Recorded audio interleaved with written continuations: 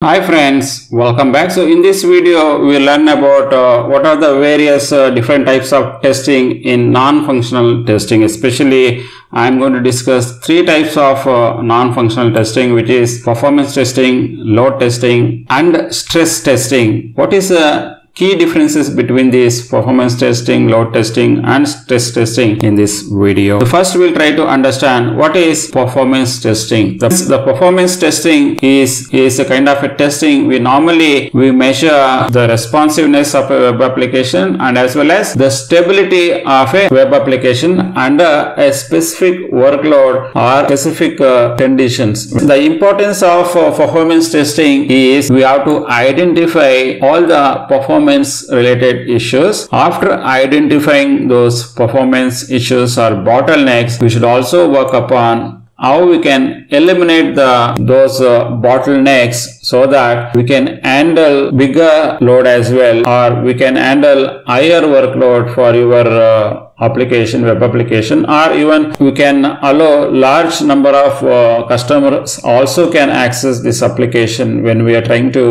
do a effective performance testing. The next type of testing is load testing. Again, this load testing is also another form of uh, performance testing. Here, our main intention is we will be putting heavy workload to see how it performs under stress. Here, load testing main objective is to identify the maximum capacity of the system which can handle in a normal as well as peak load. We wanted to identify or we wanted to measure that. Otherwise, your application will get crashed if uh, maximum number of users they are trying to access, it may get crashed uh, and uh, we may lose all those customers. Example for this uh, load testing is have an Amazon or any other uh, retail uh, stores. We may do lot of offers during Black Friday or Cyber Monday or so on. Even during this Black Friday because lot of uh, offers will be there where huge number of users will be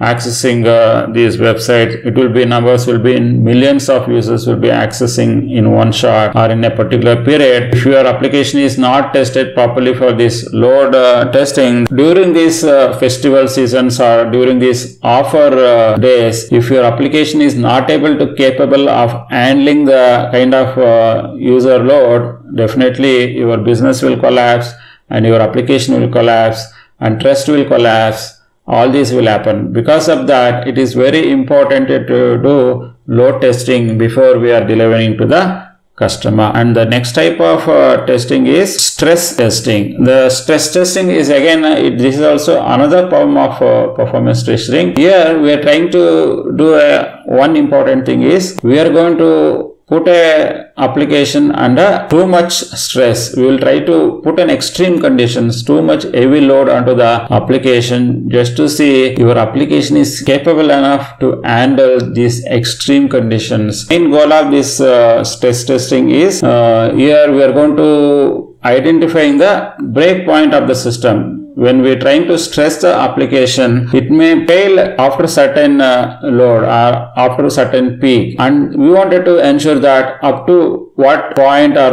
up to what stage your application can work seamlessly without having any issue. And uh, if you see any unstableness or crashes, definitely we should not release that product to the customer and we should do multiple uh, uh, root causes and we have to analyze where the issues are coming, why performance issues are degrading. All those things we have to evaluate and we have to provide the fix before we are released to the customer.